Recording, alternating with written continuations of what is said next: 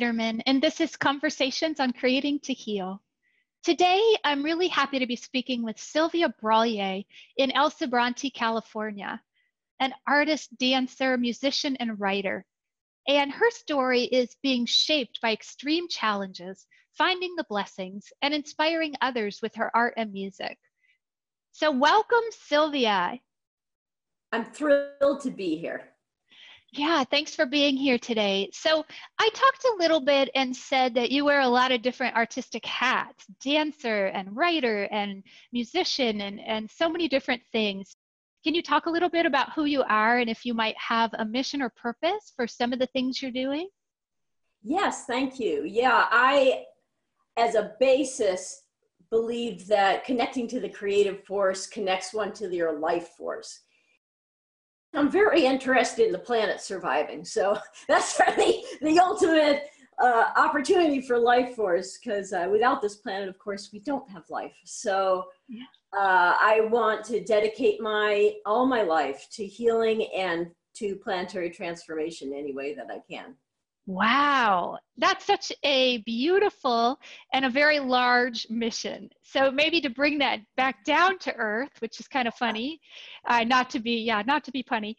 Talk a little bit about your story. So obviously, we all go through life events and difficult challenges in our lives, and some of those events are more transformative than others. So for you, what were the events and how have they most significantly transformed you?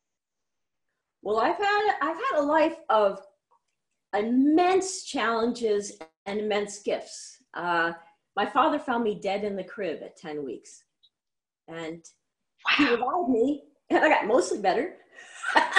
but you're here. That's a that is absolutely amazing. Yes, well, yeah. I you know, of course I don't remember it consciously, but it had a profound effect on me. And uh, by the time I was 17, 18, I developed a neurological disorder that acts like a seizure disorder. So I would have these mysterious seizures that nobody could name what it is. Finally, it got diagnosed just, just even here, I'm in my 50s, and they finally said, oh, there's a skip in your software. So I've had periods where I've been in a power wheelchair. I go back and forth between being an acrobat and a total cripple. Wow. So it's been my experience that when I can move, when I can use these hands, these arms, I can dance, I do. I take life fully, you know? And so it's an inspiration to like every man, every moment counts. You yeah. know, at this point, I've died twice and been struck by lightning once. I'm hoping that's enough. So the goal is like, how do you keep this up attitude in the face of so much hardship? That is such a great a question. watching yeah. and listening probably have some inquiry about. You know, yeah. So, so for you, what was it that? How did you? You know, did you well, turn one, one, I want to talk about two two different times. One time when I was totally became totally crippled, but I would still go in my wheelchair, get driven into town, go up the elevator, go to the dance, slide out of my wheelchair and roll around on the ground. I couldn't get up, but I still went anyway yeah. because it gave me life force. Don't give up. Yeah. Don't give up. What gives you juice, you have to do it. Because when you really do what gives you energy, then of course you're going to have energy. And when I'm dancing, part of my disability drops away because I come into my light, I come into my higher place. And I think that art does that for a lot of people, sometimes by as a way of disgorging our, our negativity, and sometimes as a way as juicing our positivity or our empowerment. God, that's beautiful. I just, I love that. And I so resonate. I always think of it as when I'm in my flow or my place of pure bliss or joy. It's yeah. not that the illness totally disappears, but I'm so in that moment that that kind of, you know, falls away. And it's yes, all about the joy and the bliss. So, oh gosh, that's such a beautiful way to describe yeah. what yeah, you're going It's like, I'm surfing a really good wave. Ah! Especially when you're on a really, you're pl- I'm a, I'm a musician, so playing an amazing run or dancing and you're really amazing, or you do a painting. This is one of my paintings, um, and and something amazing happens. So not too long ago, I had an amazing concussion from dancing. I got uh, uh, accidentally tossed in the air and fell in the air to my forehead. Oh. Had quite a bad concussion, and my career of 30 years of doing teaching healing work and hypnotherapy and uh, personal growth and stuff. I couldn't do the marketing anymore. I, I said, okay, I guess it's time to just do my art. Yeah. And then I had this amazing thing happen. I got hired to do painting for this gallery exhibit called uh, that was uh, the encyclical gallery, which was about Pope um, Pope Francis' 2015 address about climate change, which is a pretty genius. Like I agree with everything except for the line about abortion, but the rest of was like, yes, this is what we need to do. And so I did my own exhibit called The Nature Within. And it was um, a multimedia exhibit about, you know, we, we say, like, I want to get out in nature. I love nature. But it's almost like a voyeuristic relationship. We see ourselves as outside of it, we have to go to it. But you know what? We are nature. So I wanted to somehow express that. So I found poets who would do a two minute long spoken poem yeah.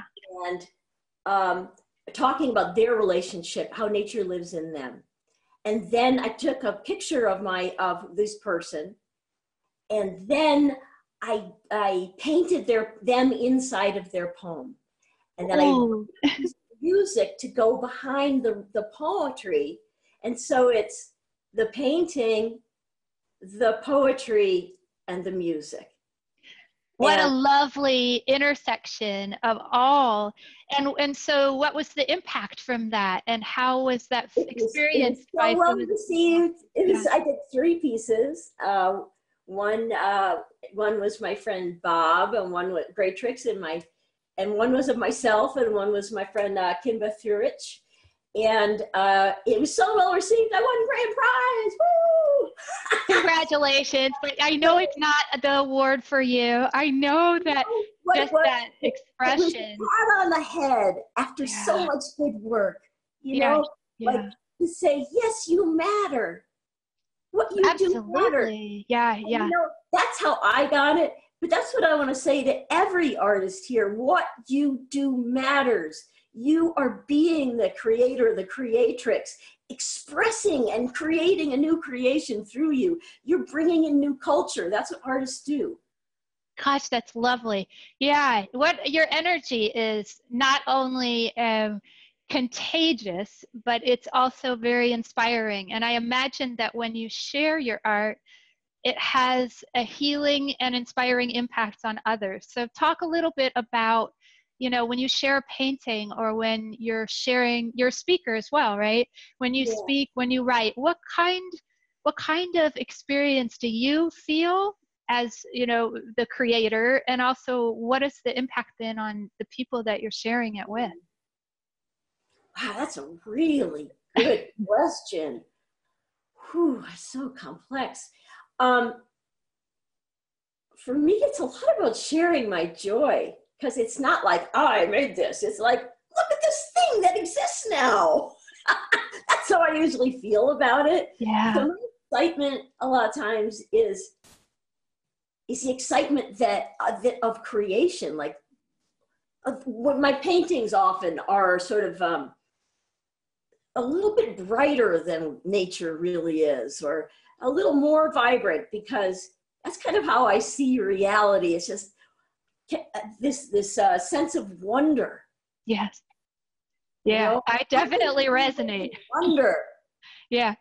Yeah. And um, that's actually what my poem is about that I do my piece too that I'm going to share today looking at your painting behind you you're it's extraordinary. Just your eye for detail and capturing the essence. Uh, you're you're you're talented but you also get into some of the essence of the painting. And i just wanted to say that you know that's coming oh, through. thank you. Yeah. You know, I, I i started out as a botanical illustrator. I studied in college. And um and then I went on to doing other art in the background while I did my healing work.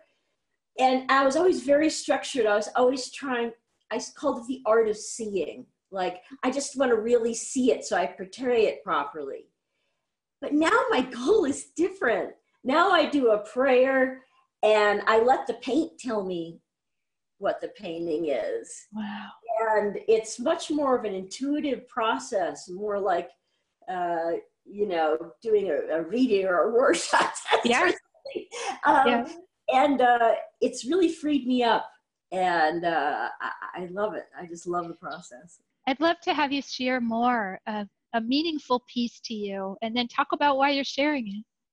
Today I'm going to share my piece Wonder, which is a combination of a painting, a poem, and a piece of music that I wrote and performed.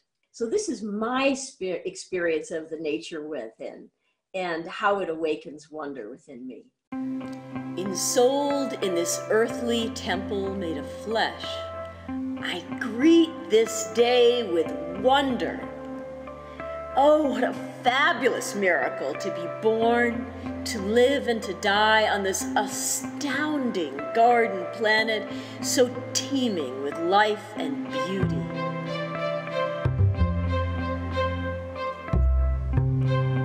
I am nature, every breath, every beat of my heart, a gift to be treasured, every day counted, value immeasurable. And was it inspired by you? This is your self portrait, you said, right? Yes, it is. So, what was it? How, how did you get the inspiration? Do you use visuals or is this completely, you know, collective, conscious? Like, how, what's the inspiration for you for this? Well, this one actually came from uh, Pope Francis's encyclical, which uh, we were to take a passage from it and there's a particular passage that talked about how nature lives inside of us.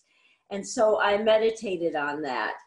Yeah. And that's what arose for me. A lot of times my paintings arise from a quiet place. So I go within quietly and see what appears in my mind's eye or. Yeah. And how long did this process take?